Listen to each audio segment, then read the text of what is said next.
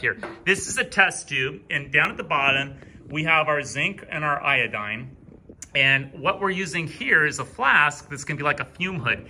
And we're gonna cover the mouth of the test tube with this flask so it captures that violet vapor, that purple gas inside of it. Now this is an exothermic reaction, so once we add water, you should feel heat coming off the test tube, okay? So this is my student Destiny and Rihanna. And Rihanna, it looks like you're in charge of the water. And Destiny, what are you gonna do? Put this on. Yeah, you're gonna put the flask on really fast, okay? I'm gonna turn this a little bit for the camera so that we can see what's happening. And you're gonna have to probably stretch a little bit. Okay, you ready? Add your water.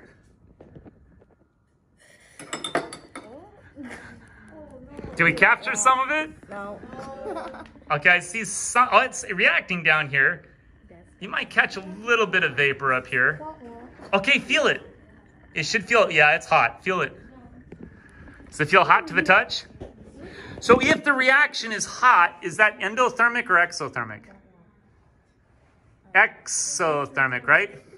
Okay, let's see what it looks like if we just have you add water on your Petri dish. Let's have you put a drop of water right here on the mixture. And let's see that violet vapor. Right there, and a little, a little more. There's the vapor that we're after. That's, that's iodine in its gaseous state. Good job.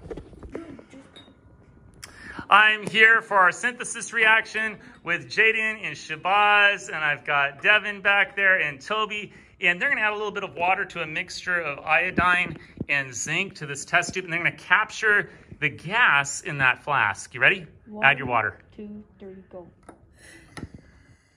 Good. Reacted really fast. Feel the test tube. It should feel hot because this is exothermic. You feel it down there. Is it hot? Yeah.